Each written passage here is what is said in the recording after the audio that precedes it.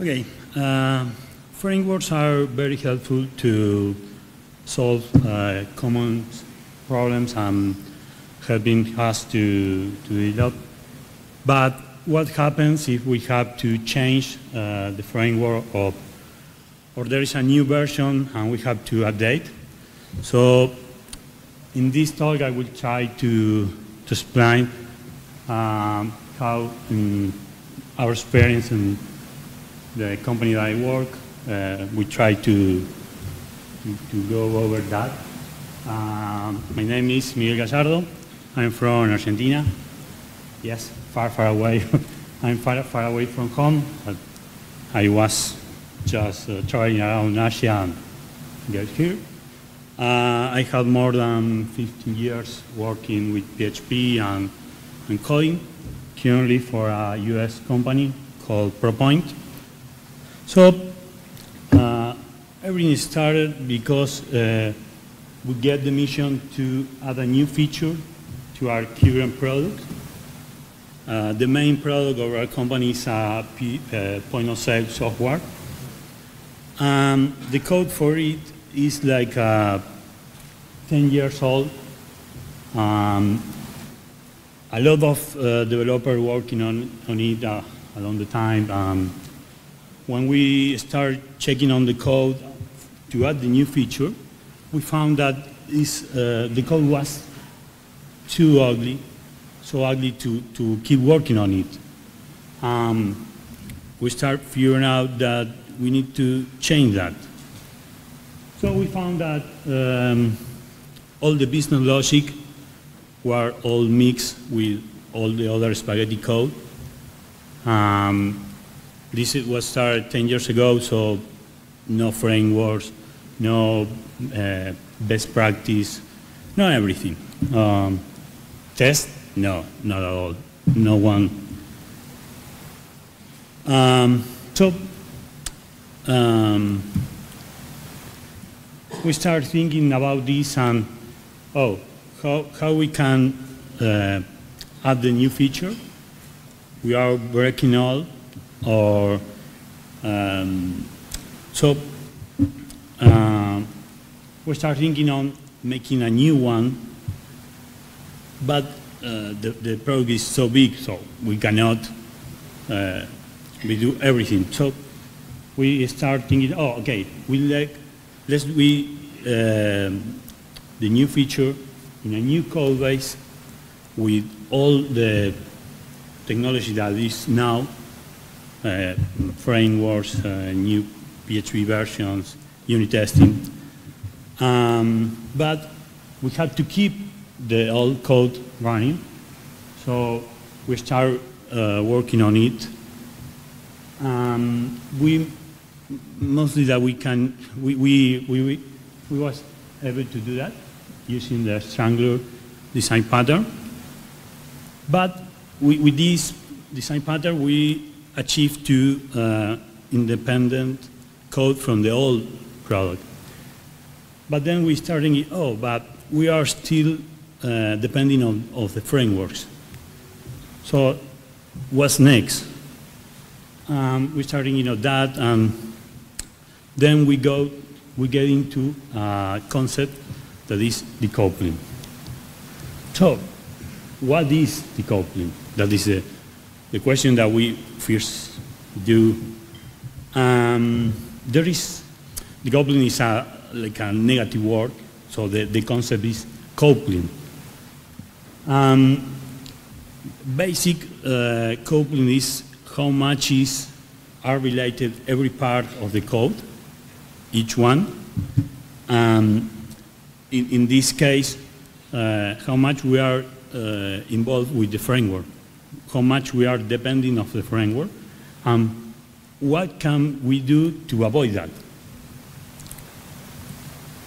So uh, one of the, the benefits of, of decoupling um, is, is, is easy to, to see here, but in the code, when you have a, a lot of mixed code and spaghetti code, it's not easy to see these benefits um, basically made the, your code only works um, works in every environment, every framework.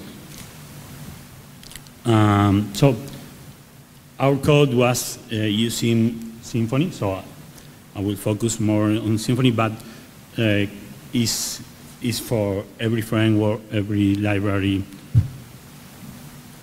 So one concept that we have in mind um, during all this stage is that the frameworks um, are generic um, and solve problems that um, we all have in, in, in the building of, of uh, application or site, and that we don't want to reinvent the wheel. But it's not part of the project, it's not part of the core of the business. So we have that in mind. The framework is not a part of the application. And then this is um, how it's mostly a, a um, application inside a framework, using a framework. Um, but we, so we can isolate these three parts or two parts mostly.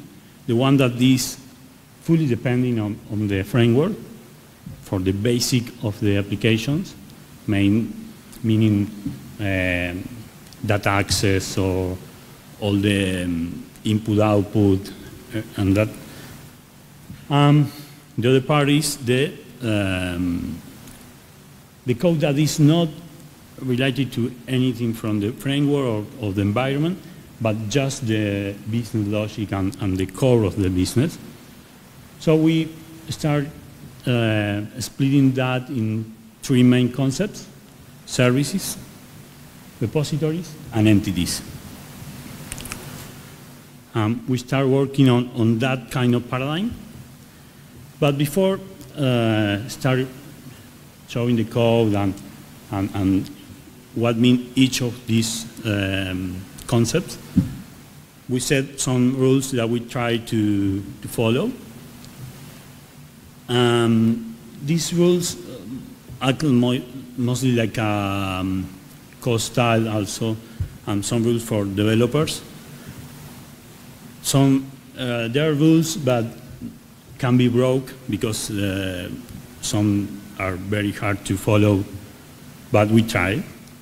One of these is the law of Demeter that um, basically is that each piece of code should be no less than, the, should we have only a limit knowledge of the other parts of the, of the application, of the, of the piece of code, to, to be only one small piece and isolate for every, every other piece. Um, this, this small um, phrase is like an easy way to, to see, uh, only talk with friends and not with strangers. So uh, it's, a, it's an easy way to, to remember. The other one is the single responsibility principle. Um, this is uh, to avoid to have a, a huge class or a huge piece of code doing a lot of things. So if the piece of code is only for a customer, only holds the customer data, but nothing else, um, including um, the, the entity, for example, that we'll see on the next um, on the next slide, only hold the data, but doesn't take care of the um, of saving the data or getting just as a, a container of the data. And this is also um, another concept that we have that is uh, we, if we need to add some functionality to an entity, we should try to extend and not modify the, the, the, the previous entity. Uh, this is also to avoid to, to start adding keep adding uh, functionality to, to a piece of code or something like that. So starting with the with the, the parts of the of the stack. The first one is the entity. Only is uh, representing um, a single vector of data, not even a, a it's not a, um, a table or a database extraction. Only holds the information and the description of the data that we are we are using. Um, this bar is only uh, is not doesn't include anything from the framework. It's just a, a simple PHP class. For example, this one for customer, um, only if we can see here that it's only keeping the, um, the, the, the, data in, in, um, in runtime, is not saving, is not doing anything, just the entity.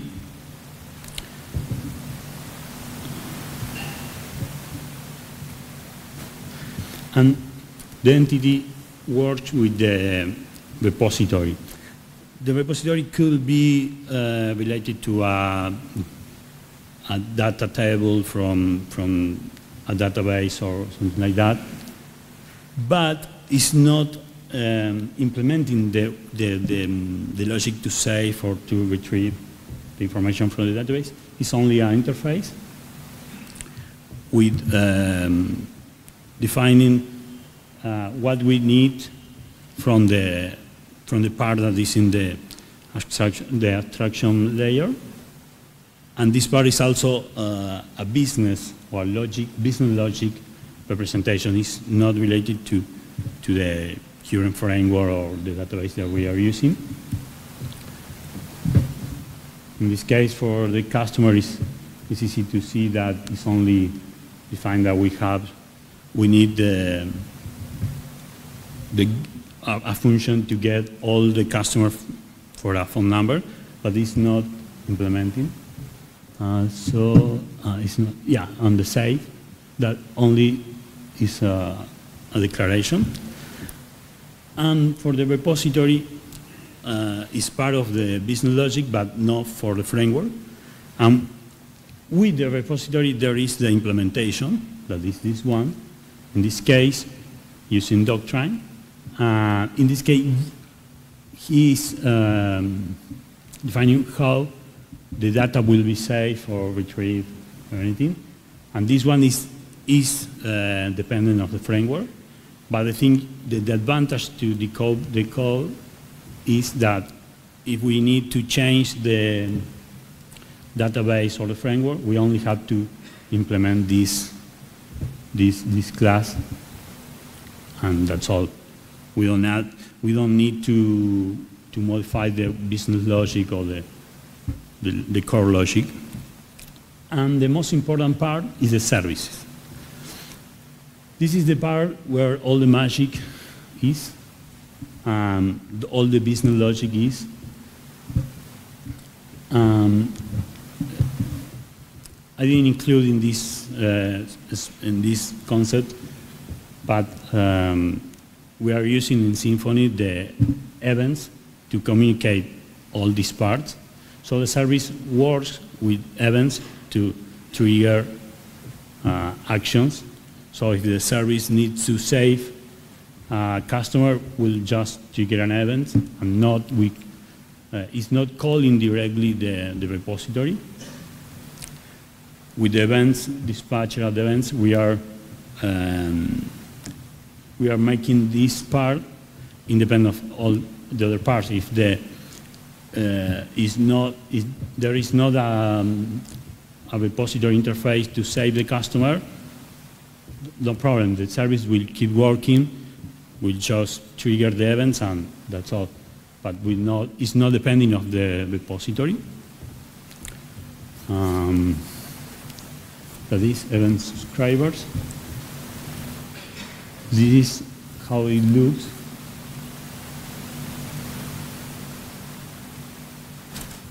And we can see here that is um, triggering the events after a, a customer has been created and how the, the service communicate with other services.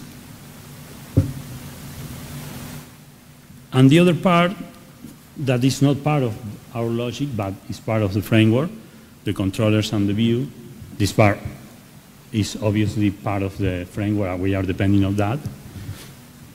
But it's only working as, as an interface to the, to, the, to the user through the browser or, or API or anything, and just like a pass-through from the input-output and the, and the services. That's all. We are not adding any logic here, neither the controller or the view.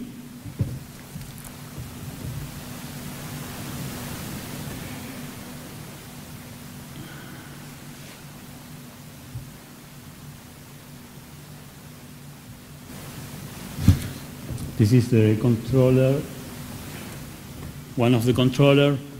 Um, you can see that in this controller is only uh, calling or, or using the services.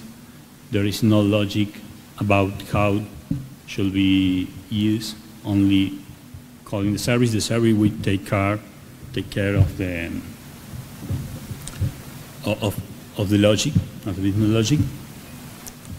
So the, the first um, graphic that I made is a simplification of the entire stack. Uh, is the, the current implementation is uh, like more um, complex, but in the end is as simple as the first graphic. And this is, yeah. This is how the stack is done. It's more easy to see here how each part is independent of any others. We have the services. We have, first of all, we have two modules with two different services. This could be for customer or um, for a store, for example, two different modules. Um, each one has a service that is independent of everything else, and it communicates every part through events and we can see how this, uh, the split between the parties uh, framework dependent and our part that is only for the, for the business logic. Um, this is the approach that we took.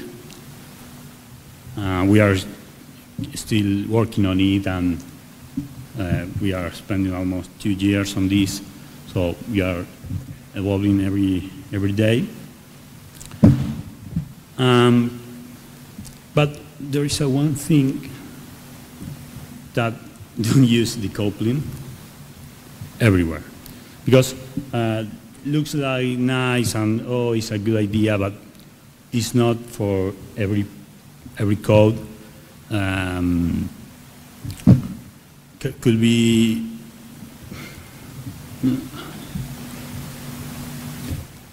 could be abused and, and it depends if the type of project, the size of the project, the size of the team. Um, as with every tool or every technology that we have, we have to try to use the right tool for the right problem and not, uh, not use for every part. Um, so uh, we have to be smart to, to, to get with this or any other technology or best practices or design pattern, just to use it smart. And this is a, like a, a conclusion that we, we have. Um, this is not part of, of, the, um, of the decoupling, but there are, there are some concepts that we can useful to decouple the code without uh, implementing all the splitting in the in the code in, in the framework and, that's all.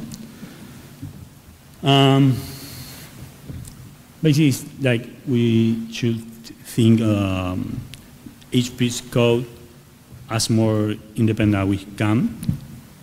Um, so it's not depending of any other.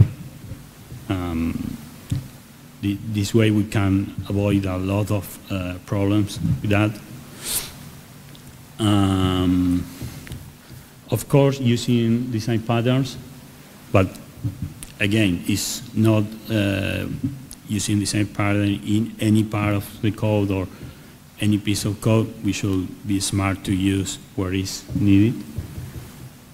Um, and one of the main concepts that we throw is the layers or architecture.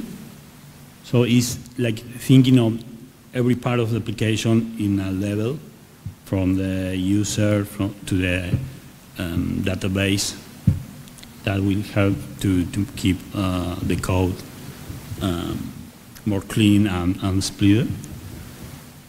So mostly this is uh, our experience working with the decoupling and, and Symfony. Um, I hope that this is useful and informative. Uh, there is a, a lot of other concepts that we can use to, to, to get into uh, the coupled code, but the main objective is to have a, a project that we can be uh, updated and will be in good shape over the time. So thank you for, for the opportunity and for the, thank you.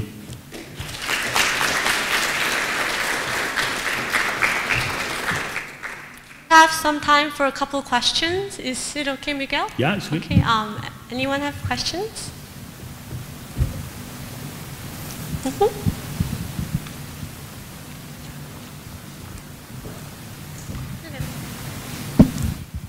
Hello. Um, you've mentioned about decoupl decoupling, decoupling um, should not be used everywhere, but for certain types of projects. So can you cite examples of projects that we can use uh, decoupling efficiently? Um, in our case, we use it because um, our product will not change over time, mostly, uh, but we need to keep uh, adding features. Um, we keep, we need to keep uh, with the last, latest technologies for frameworks and PHP version and that's all. So uh, I think that this concept uh, should be used in, in projects, in large projects mostly, because all these um, separation of, of parts also is very useful to, to work in large uh, teams. So we can split every part of code to a, a, a development group or developers. Um, it depends on every project. I think that when you get the, the need to use, you will know. Um, but yeah, it, it's, not, it's not a thing that, oh, I have this new project I will use because, but in the other hand, it's like a, a set of, of best practice and uh, um, way to do the work that can be used in, in every project. Or, um, for example, to, to follow the three rules, the Demeter rules, and the, the other two rules, it's like a, a, concept that we can use in any project and will be very useful to have a clean code and, and with all, uh, um, using all the technology that we have now for unit testing, for deploying on, on the cloud and things like that. So I think that um, most of uh, uh, one only concept I think that it's useful to take some parts of this and start using on, on, on any project. Yeah. Any other questions?